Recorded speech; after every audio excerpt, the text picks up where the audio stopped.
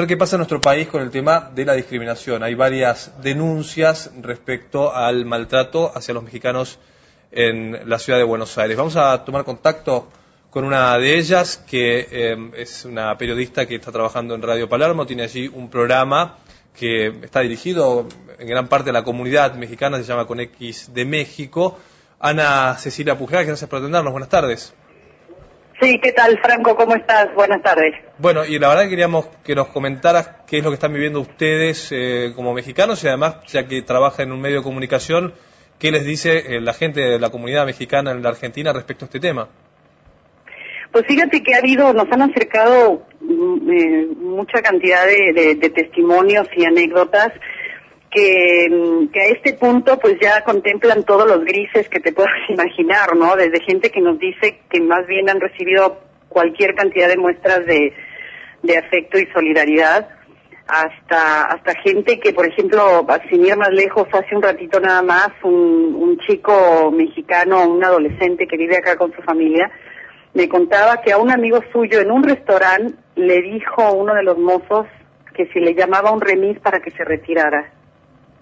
¿Por el solo hecho de ser mexicano, Ana? Exactamente. Ahora, ¿qué es lo que aduce la gente? ¿Piensa que por el solo hecho de, ser mexicanos ustedes están infectados? Es una locura esto que estás contando. Es una locura, pero mira, yo la verdad es que, que a este punto, la verdad es que yo lo atribuyo a una enorme ignorancia y desinformación. Yo creo que, que también se ha saturado tanto del tema la gente, con tanta información de tantas fuentes, de, que viene de tantos lugares, que yo creo que la gente ya no alcanza a, armar, digamos, un criterio que en el que pueda, digamos, llegar a comprender la, la real dimensión de, de esta situación.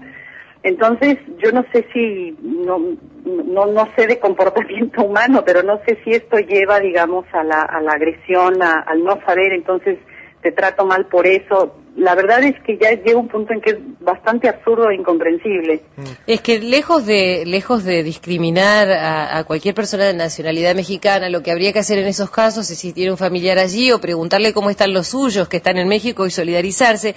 Pero además, eh, es cierto que los medios están abarrotados de información, pero justamente la idea es informar para que no sucedan estas cosas, para saber que hay que tener determinados cuidados ante determinados síntomas, que cualquier persona en cualquier país puede contagiarse, pero además este, también el hecho de que vivas acá desde hace un montón de tiempo y de que este, lleves esa nacionalidad en tu documento no indica que necesariamente tengas el virus. Y en tal caso, lo que se debería hacer es solidarizarse contigo para ver si estás atendida o no en el caso que hayas contraído la enfermedad, ¿no? Sí, yo creo que, que pues en el caso de los mexicanos que ya vivimos acá, eh, quizá más eh, preguntarnos por la familia, por, por, digamos, si tenemos alguna referencia ya que, que, que, pueda dar eh, quizá mejor información, pero no, pues no, no, no avanzar, ¿no? Con estas actitudes que te digo que a lo largo de los días hemos ido recogiendo muchas y muy variadas, desde esta que te acabo de contar hasta, hasta a la gente que no la quisieron llevar en un taxi, a la gente que no quisieron cortarle el pelo en la peluquería, eh, a la gente que no quisieron darle un pasaje en la mano, mm. sino que se lo dejaron sobre la mesa para no, infectarse. Y es gente que toda vive acá, ¿eh? Ana, el caso del, del, taxi que, se dio a conocer porque lo publicó en tapa hoy el diario de la Nación, ¿ustedes conocen a esta persona, a este mexicano que, vivió esto que contó? No, este, esta persona que, vivió esta experiencia, que, es que no es una, sino ya son varias, eh, esto lo relató la, la corresponsal de, de, Notimex, Cecilia, Cecilia González, que ella, ella relató ese caso. Ah, correcto. Y en, el caso tuyo, vos me has comentado en una conversación anterior algo parecido, por ejemplo, con, en el jardín, en el colegio, con, con los papás de los compañeros de sus hijos. Sí, eh, justamente una, una de las chicas con las que trabajo en el programa de radio tuvo la mala suerte de, enfermarse de, gripe, de resfriarse, pues, por un aire acondicionado en la, semana pasada. Y cuando iba por la niña a la escuela, le, abrían paso y le decían, ah, hola, así como de, de costadito.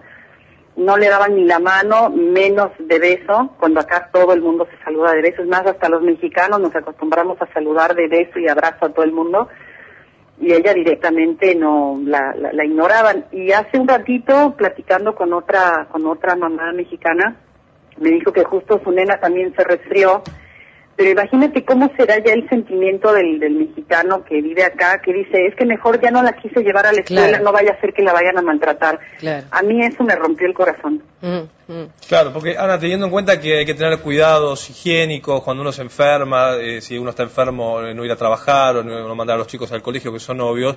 Ahora, para ustedes es un problema porque se viene el invierno en nuestro país y obviamente todos siempre durante el invierno alguna gripe vamos a tener, algún resfrío vamos a tener.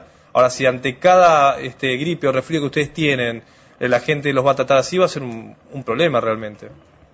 Sí, la verdad que sí se va se va a complicar para todos. Pero bueno, lo que lo que yo siento en este momento es una la verdad es una enorme pena, una enorme tristeza porque mira, yo tengo 15 años viviendo acá y, siempre he recibido muestras de cariño, de, de buena onda, de entre mis colegas, entre mis amigos y, y la relación entre México y Argentina ha estado fundamentada en el respeto, en el intercambio cultural, en lazos muy, pero muy fuertes que mucha gente que se exilió en México lleva al lado, en el alma, y no puede ser todo esto. Mm.